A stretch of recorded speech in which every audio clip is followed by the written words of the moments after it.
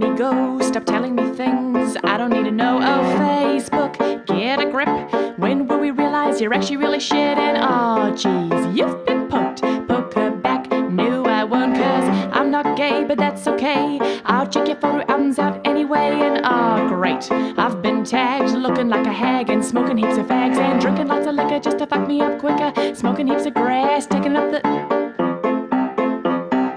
Nah, just kidding, gross. The thing I hate about Facebook the most is Farmville. What the fuck? Anyone who plays it must really suck, and I don't need daily horoscopes, taking heaps of quizzes. Who knows you the most? Or free giveaway iPod Touch. Did you say free? Cause I like it very much, but nah, it's doesn't exist. I've been jacked, now I'm pissed. I'm irate to know about you, mate. Gonna express my feelings in a status update. Did you like what I said? Did you like what I said when I said what I said online? Then click like a bitch, click the like button now. People gotta know that I'm popular somehow. On I sign who's online. Any of those lovely ex boyfriends of mine, or anyone with whom I've had relations, conversations, presentations, copulations, or near populations. Homepage fills me with rage. Everyone but me is getting engaged or in a relationship.